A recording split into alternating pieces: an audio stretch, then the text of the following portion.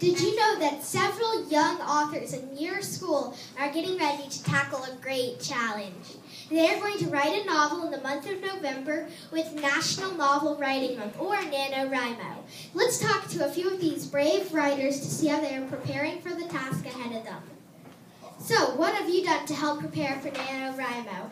And first, talking about character development, we have Jay. Um, my main character's name is Ace. He goes to Avengers Academy. He is 18 years old. His best friend's name is Winter. And uh, what he wants most is to save the world from evil.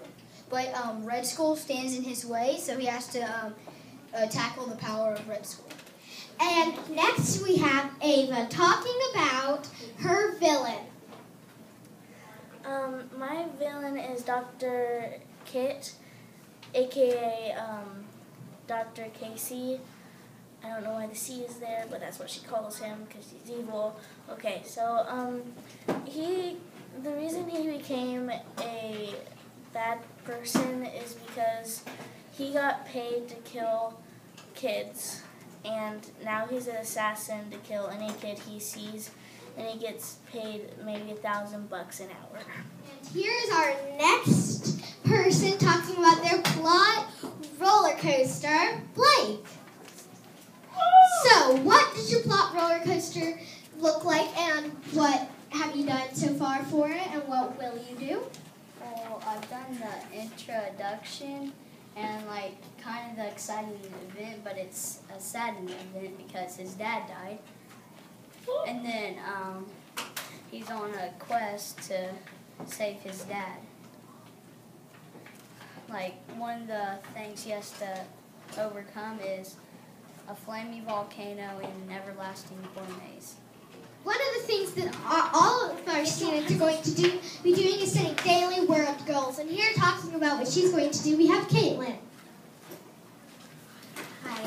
The minimum of everybody's work goal is at least 100 per day, but I think I can exceed that goal, and I'm going to try to aim for 230 words um, a day. Grant. He's going to be showing us his book that has helped him quite along the way. This is the book that that has helped me, and um, some of the questions in there were something like, uh, "What is your main character's name?" And mine, of course, is Milo. And another another um, example is what can your main character do better than anything else? And mine was Milo can jump far and run super fast. So, question: Did the questions help you? Yes, they very they very much did. November, since it's a, sh- a sh- somewhat short month and Thanksgiving break, we are going to have Eleanor Grace talk about what the biggest challenge will be. I think that the biggest challenge will be is Thanksgiving because we're all busy. And that's all. It's gonna be hard to write during that time.